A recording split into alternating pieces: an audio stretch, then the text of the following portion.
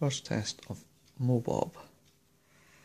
Unfortunately the software supply for MobBob doesn't work with the regular Bluetooth module. So I'm using an app that I developed in the MIT App Inventor 2.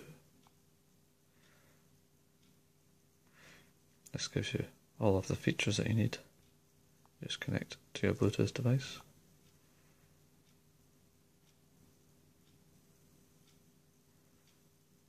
Prove it's connected, you get a red light on your Bluetooth module. And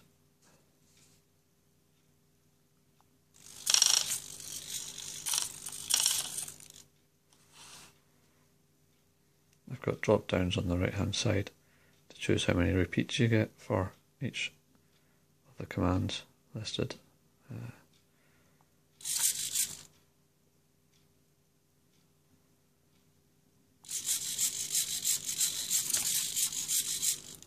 He's going to act a little bit better when he's got some more weight on him.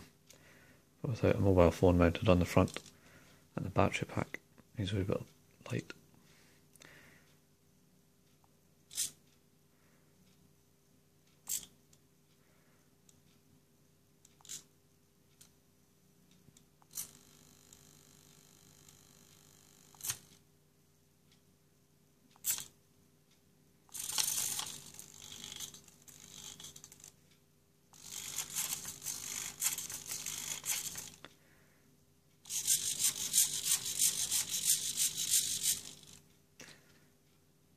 Thanks for watching.